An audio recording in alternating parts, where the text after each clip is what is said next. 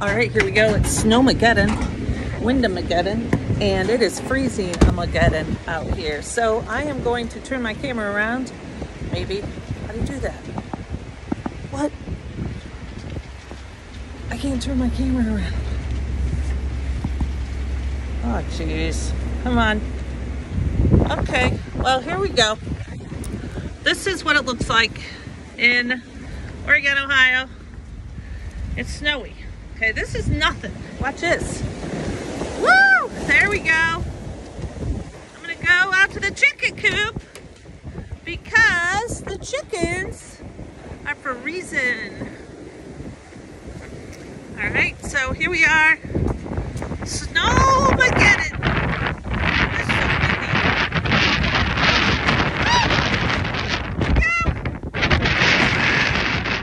It is so cold! It's blowing at me! Chicken time, chicken time. Hello, chickies. Oh, why are you all over here? Come over here by your heater. Come on. There they are. They're all over here by their heater. And I'm going to give them some snacks. Hi, chickies. Here. Chickies.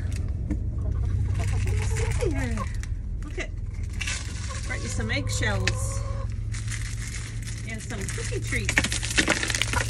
Cookie treats, yeah. So I came out here because it's freezing and the chickens are freezing. Well, the chickens are probably not as cold as humans. So I wanted to build some sort of wind barrier. So wind is blowing through pretty strong. And so there's the chickens. We're in the chicken coop. All right, there we go. All right, okay, so this is a 100 year old chicken coop. So let me show you some evidence of updates that might need to occur. We got snow blowing in. See that?